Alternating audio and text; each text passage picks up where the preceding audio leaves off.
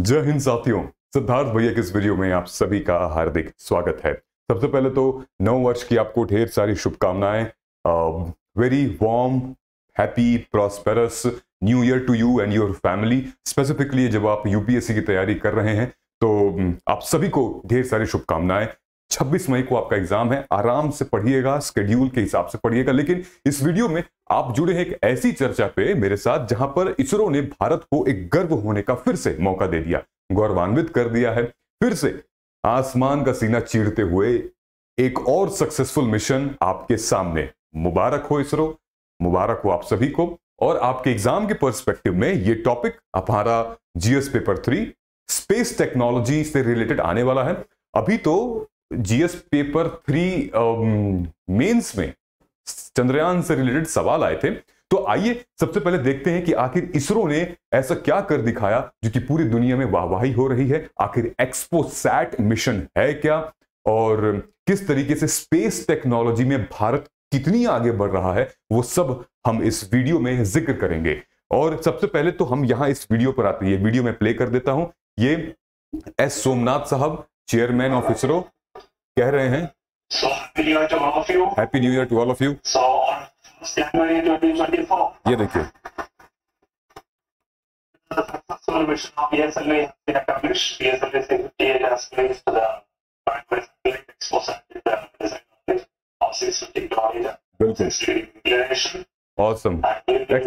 Mission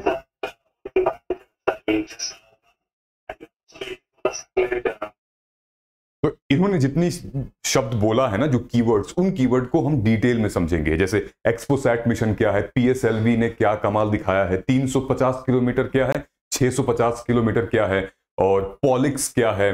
तो मतलब बहुत मज़ा आ गया। जब मैं पढ़ रहा था इसके बारे में तो अपने आप को भारतीय भारतीय होने पर गौरवान्वित महसूस हो रहा था कि भारत जो है वो मतलब कमाल कर रहा है, दुनिया देख रही है।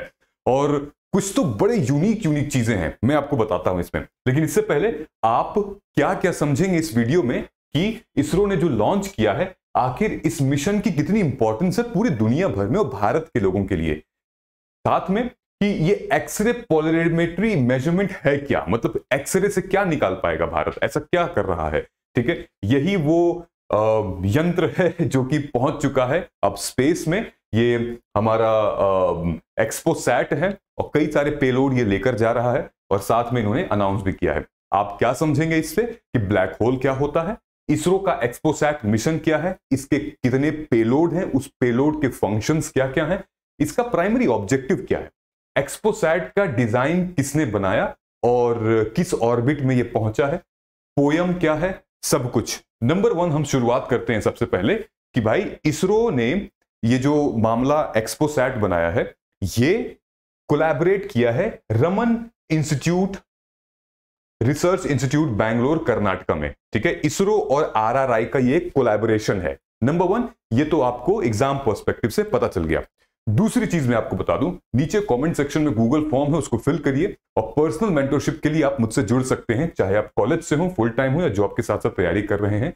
हम लोग हर वीकेंड पे 11 बजे एक पर्सनलाइज मेंटरशिप सेशन रखते हैं, जहाँ पर आप डाउट में होते हैं, क्योंकि अब वो टाइम आ चुका है जहाँ पर आप बहुत डाउट में होंगे तो आप ज़रूर नीचे कमेंट सेक्शन में आइए, मेरे टेलीग्राम पर आके हाय बोलिए, हम लोग कनेक्ट करेंगे। और साथ ही में ये भी समय आ चुका है टेस्ट सीरीज़ लगाने का।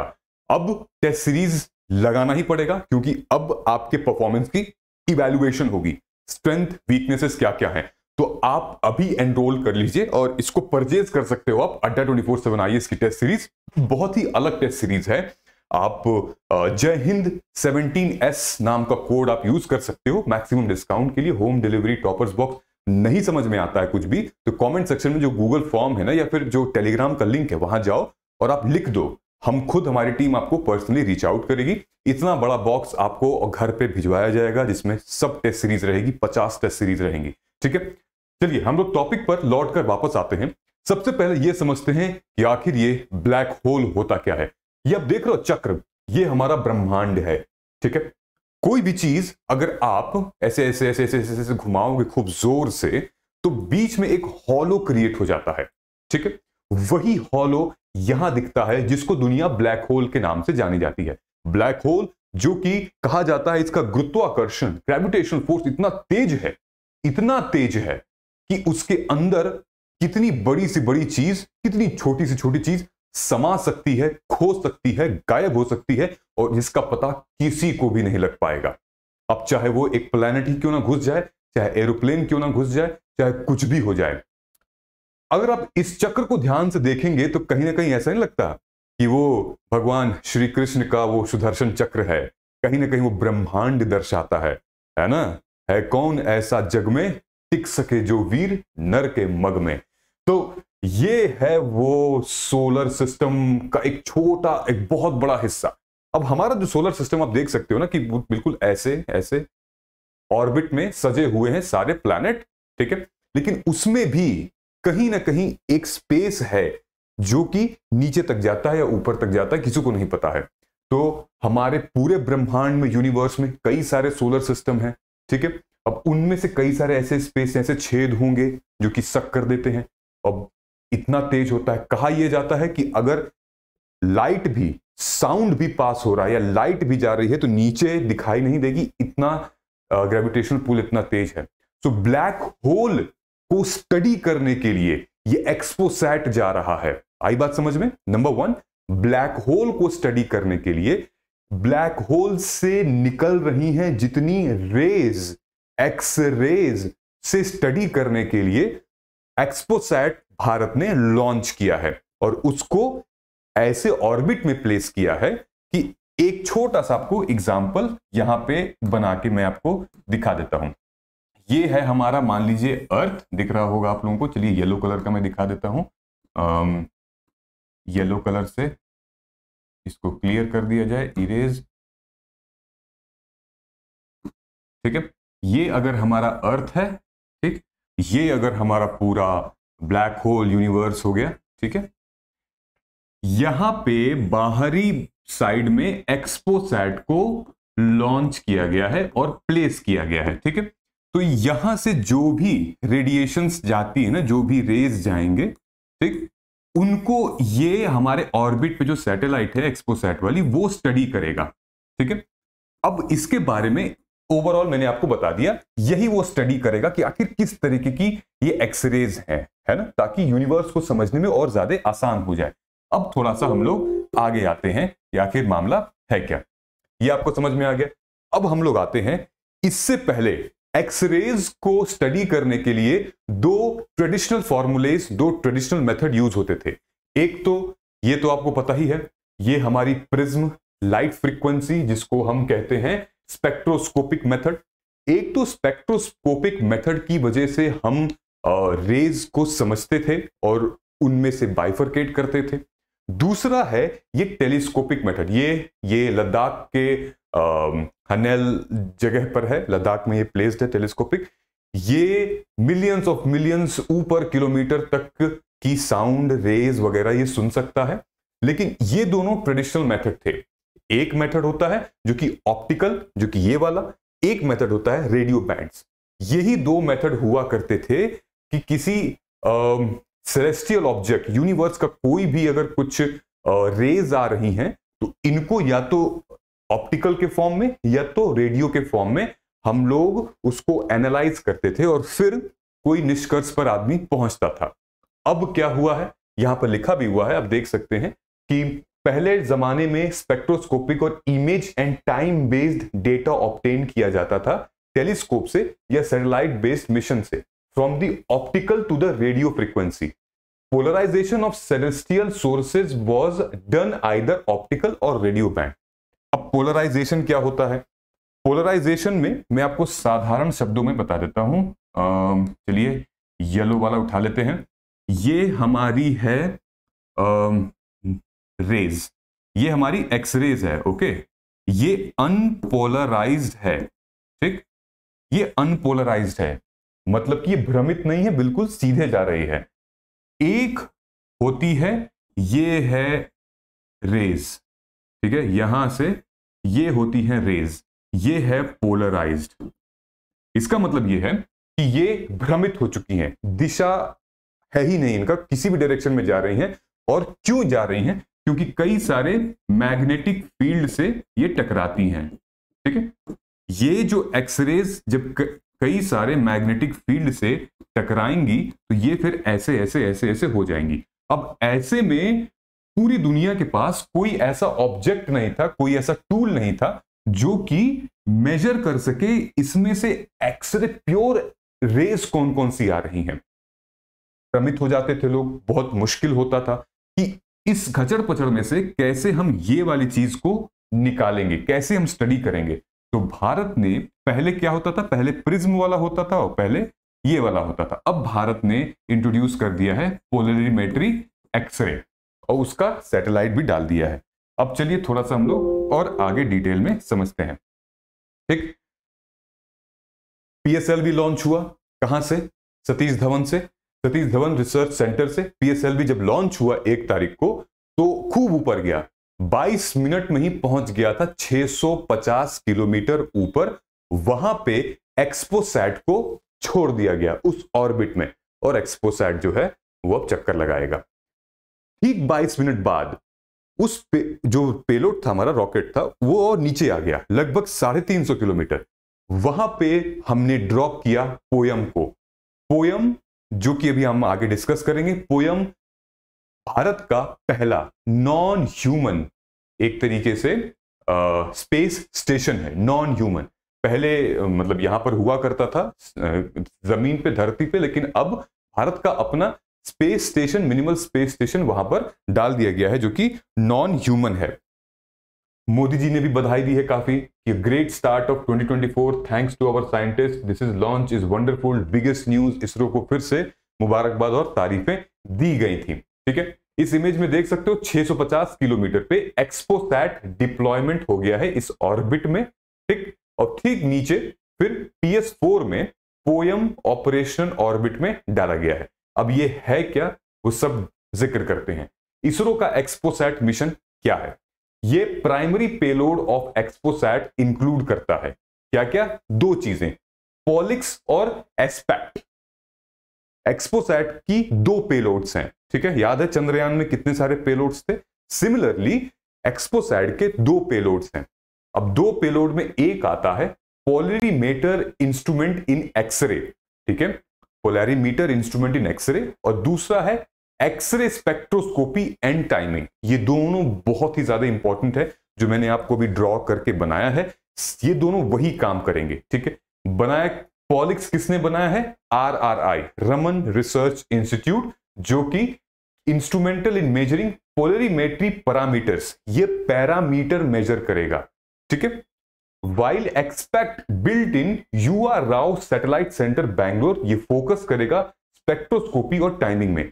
ये जो मिशन है, ये इसकी लगभग पाँच साल का लाइफ स्पेन है वैलिडिटी है providing an extended window for scientist observation and data collection ये पहला ऐसा ऑब्जर्वेटरी बनेगा जो कि भैया स्पेस में है। इससे पहले ऑब्जर्वेटरी कहाँ थी? धरती पर थी। अब ये देख सकते हो, ये है हमारा अर्थ ये है सन यहाँ से इसको लॉन्च किया गया है। लॉन्च करते करते यहाँ पर छोड़ा गया, फिर नीचे ले आया गया। अब आते हैं हम लोग इधर। अब डिटेल में जाते हैं कि आखिर ये पॉलिक्स है क्या। ठीक आप देखिए इस इमेज में ये सैंपल इमेज है। POLIX related electronic packages POLIX viewing access ये सारी चीज़ें आप बहुत ज़्यादा विज्ञान में मत जाइएगा वरना आप क्या पता आपको जो ह्यूमैनिटीज के बच्चे उनको हैंगओवर हो जाता है इतना ज़्यादा साइंस पढ़ लेते हैं। तो आ, लेकिन इंपॉर्टेंट है। पॉलिक्स क्या है? ये दुनिया का पहला ऐसा इंस्ट्रूमेंट डिज़ाइन हुआ है जो कि एक्सरे को लगभग 8 से 10 kilo electronic volt energy band में मेजर करेगा, ठीक है? It comprises of collimator which is key component to filter light originating from bright sources मतलब ब्राइट सोर्सेज ब्लैक होल से लाइट आ रही है, कहीं से भी लाइट आ रही है, उसको ये क्या करेगा?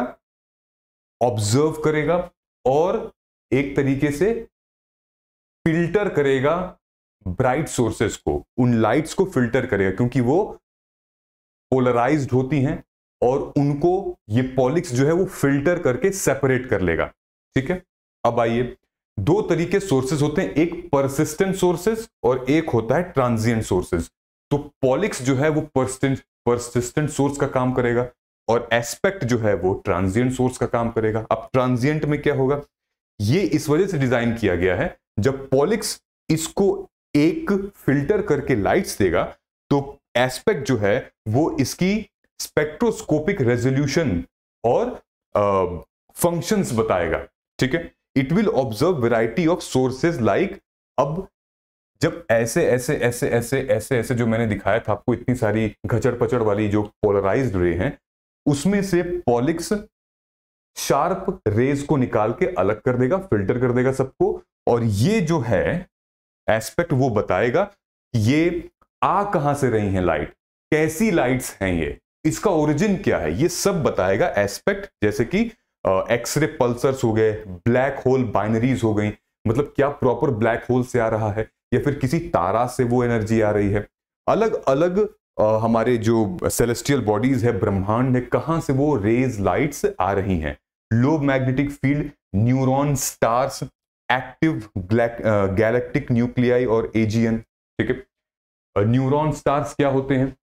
जब भी आप देखा होगा आपने आ, कोई भी मिल्की वे वगैरह तो बीच में जो ब्लैक स्पॉट होता है ना उसको लोग न्यूरॉन स्टार्स बोलते हैं ठीक है? आ गया बात समझ में? अब थोड़ा सा आगे बढ़ते हैं। कहने का मतलब यह है कि by studying the polarise X ray जो कि कहाँ से आ रहे हैं? मैग्नेटर्स ब्लैक होल्स और सराउंडिंग एनवायरमेंट से न्यूट्रॉन स्टार से साइंटिस्ट जो है, वो रेडिएशन का नेचर समझ पाएँगे। आखिर ये रेडिएशन का किस तरीके का नेचर है, इसकी बिहेवियर क्या है, इसकी प्रॉपर्टीज़ क्या है, ठीक है? उस हिसाब से अब कुछ इंस्ट्रूमेंट डिज़ाइन हो सकते हैं ज़मीन पर, धरती पर, ताकि इन रेजेस से बचते हुए कैसे हम कोई इंस्ट्रूमेंट डिज़ाइन करें, ताकि हम ऊपर जब जाएँगे या किसी को भेजेंगे तो फिर वो डैमेज ना करे, वो बर्बाद ना करे। Multitudes of purposes involve in generation of these radius ठीक है? These two additional parameters with spectrographic timing जो हमने बताया है विल किसको मदद करेगा? रिसर्च ताकि हमारी जो प्रेजेंट अंडरस्टैंडिंग है पूरी की पूरी ब्रह्मांड के बारे में उसको समझने में मदद करेगा कि आखिर जो कहीं तारा टूटा या फिर कुछ बना या फिर कुछ गायब हुआ तो उसमें रेडिएशंस आ कहाँ से रही हैं? कौन सी रेडिएशंस है? ताकि हम अपने ब्रह्मांड के बारे में सेलेस्टियल बॉडी के बारे में और बेहतर समझ सकें। ऐसा एक्सपेरिमेंट नासा ने भी 2021 9 दिसंबर को किया था, जिसका नाम था आई मतलब इमेजिन एक्सरे पोलरिमेट्री एक्सप्लोरर और ये जो है ऑपरेट किया गया था polarisation measurement with in the soft band 208 energy band. और हम लोग का जो है, वो कितना है? 8 से 30 किलो इलेक्ट्रॉन है। तो काफ़ी ज़्यादा हैवी ठीक है? बिसाइड्स एक्सपेरिमेंटिंग इतना XPoSat payload will offer expand observational energy band it is design to perform X ray polarisation medium X ray तो जो यूएस वाले थे, उनका स्मॉल एक्सरे से रिलेटेड था। भारत जो है, वो मीडियम एक्सरे में अब घुस रहा है, जो कि पहला ऐसी कंट्री बन सकता है मीडियम के मामले में। ठीक है? अब हम बात करते हैं पोयम। कि आखिर पोयम है क्या? ये है पूरा मॉडल पोयम का। POEM ISRO in new year POEM in space creating wealth from waste. ये जो आप डिज़ाइन देख रहे हो, ये स्पेस डरबिस से ही बनाया गया है और इस पोयम को डिज़ाइन करने में इसरो ने कई सारी स्टार्टअप कंपनीज़ में भी इसमें पार्टिसिपेट की और कई ऑलरेडी एक्सपीरियंस्ड हैं। साथ ही में अगर हम बताएँ तो इसमें एक दस पेलोड है इसमें। दस में से एक बड़ा इंपॉर्टेंट पेलोड है जो कि सिर्फ़ महिलाओं ने बनाया है, जिसका नाम आता है आगे जाके वी सैट तो ये जो हमारा पोयम है पीएसएलवी ऑर्बिटल एक्सपेरिमेंटल मॉड्यूल जिसको हम पोयम कह रहे हैं। पी का मतलब हो गया PSLV O orbital E experimental M module ये फोर्थ स्टेज है हमारे पीएसएलवी सैटेलाइट का, जो कि सिक्सटी फ़्लाइट लेगा और कैरी कर रहा है एक्सपोसैट मतलब पीएसएलवी अपनी साठवीं उड़ान भर रहा है एक्सपोसैट को लेके, और X ray polarimeter satellite POEM will have दस एक्सपेरिमेंट दस एक्सपेरिमेंट और यही पोयम पहला है नॉन ह्यूमन स्पेस स्टेशन होगा हमारे अर्थ के ऊपर। यही है जो कि साढ़े तीन सौ किलोमीटर धरती से ऊपर, साढ़े तीन सौ किलोमीटर के ऑर्बिट पे रखा गया है लगभग आइनोस्फियर वाले जोन में। इसको किसने बनाया है? इंस्टीट्यूट इन तिरुवनंतपुरम, सिर्फ़ और सिर्फ़ महिलाओं ने बनाया है। तो आप ये प्रिलिम्स में सवाल आ सकता है कि दुनिया की पहली ऐसी सैटेलाइट कौन है जो कि सिर्फ़ और सिर्फ़ महिलाओं ने बनाया है? ये बहुत बड़ा क्वेश्चन बन सकता है, जिसका नाम है वी सैट एक्सपोसैट का एक्सपोसैट में जो नीचे वाला है पोयम उसके अंदर जो वी सेट है, वो बनाया गया है। अच्छा ये क्यों है? क्योंकि ये लो कॉस्ट और नॉन ह्यूमन है इंडियन स्पेस स्टेशन ये लो कॉस्ट और non human Indian space station है क्रिएटिंग वेल्थ फ्रॉम वेस्ट ये किसने कहा है? सोमनाथ जी ने कहा है। दो तीन चीज़ें और काफ़ी इंपॉर्टेंट यहाँ पर देख लेते हैं। Dhruva space limited Dhruva space private limited ने यह कहा है कि क्योंकि इनका भी हिस्सा है उन दस पेलोड में से एक पेलोड बनाने का इनका कहना यह है कि हम आने वाले टाइम पे ये हमारा एम और ऑब्जेक्टिव है कि हम माइक्रो सैटेलाइट्स लॉन्च करते रहें ताकि हम अपने स्पेस को अच्छे से समझ पाए और साथ ही इनोवेशन इमेजिनेशन को कैसे हम इनोवेशन से मीट कर सकते हैं। ठीक है? Vikram Sarabhai space centre which is part of ISRO flying to experiment of fuel cell power system a high energy cell ये लोग भी इन्वॉल्व हैं इसमें। जितने भी पोयम के पार्टनर हैं, वो बेसिकली लो कॉस्ट रिसोर्स पर जाना चाह रहे हैं, जो कि, अब मैं आपको बता दूँ, ये टोटल एक्सपेरिमेंट है, लगभग 250 करोड़ में हुआ है। और यही, अगर कहीं बाहर होता तो आई एम श्योर इसमें चार पाँच हज़ार करोड़ तो लगता ही लगता। 250 करोड़ में क्योंकि इन लोगों ने पुराना डेब्रिस भी यूज़ किया है, जो डेब्रिस स्पेस में, जो क्राफ्ट में बचा रहता है टूटा फूटा रहता है, या फिर जो यूज़ हो चुका है, उसको भी हम यूज़ करते हैं रिफर्बिश्ड यूज़ भी किया हुआ है। ISRO is opening its door private company के लिए भी ओपन कर रखा है ताकि हम अपनी स्पेस इकोनॉमी को बूस्ट करें और आत्मनिर्भर भारत बन सके। ये किसने कहा है? ये डॉक्टर पवन गोयंका जो कि चेयरमैन है इन स्पेस के। इन स्पेस क्या है? Indian national space promotion and authorisation centre इन्हीं के थ्रू प्राइवेट प्लेयर्स जो हैं, वो गवर्नमेंट के साथ मिलकर काम करते हैं। इनका कहना यह है कि अभी पूरे वर्ल्ड में भारत ने, भारत की जो स्पेस की इकोनॉमी है मात्र दो परसेंट है, लगभग एट बिलियन डॉलर की। लेकिन आज से ठीक आठ से दस साल बाद भारत जो है पूरे वर्ल्ड में आठ परसेंट ग्लोबल इकोनॉमी को देगा स्पेस टेक्नोलॉजी इसका और लगभग चौवालीस बिलियन डॉलर बनाएगा भारत अगले दस सालों में। तो अपने आप में ही बहुत बड़ी बात है। और यहीं पर लास्ट में जो हमारे इसरो के चेयरमैन साहब हैं एस सोमनाथ, उनका कहना यह है कि ये जो साल है हमने बहुत ही ऐतिहासिक शुरू किया है और इस साल को और बेहतर बनाने के लिए हमारे पास और भी कई सारे लॉन्चेस हैं। लेकिन आने वाले टाइम पे 2024 is going to be the year of mission Gaganyaan आपको याद है ना कि गगनयान मिशन क्या था? सूर्ययान गगनयान हम इस वीडियो के एंड में हमने एक सेशन लिया था गगनयान के ऊपर जो भारत का अपना स्पेस स्टेशन होगा। आ, वो बहुत इंपॉर्टेंट है। मैं वीडियो का लिंक लगा दूँगा आप लिंक में ज़रूर जाइएगा। आई होप चीज़ें आपको थोड़ी समझ में आई होंगी। इसीलिए एक सवाल है आप लोगों के लिए। सवाल ओ, ओ, सवाल ये है। प्रिलिम्स 2014 में ये सवाल आ चुका है और सवाल ये है कि कि कि कि which of the following pair is correctly matched spacecraft purpose इस स्पेसक्राफ्ट का पर्पज क्या है? इनमें से कौन से जवाब सही हैं?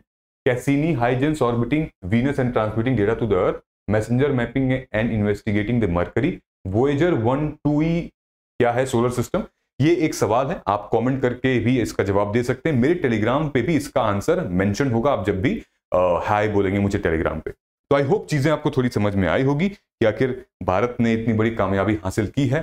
थोड़ा सा भी डाउट होगा कमेंट करके बताइए। हम लोग मेंटरशिप के सेशन में मिलते हैं। थैंक यू सो मच मिलते हैं अगले वीडियो में। जय हिंद, जय भारत।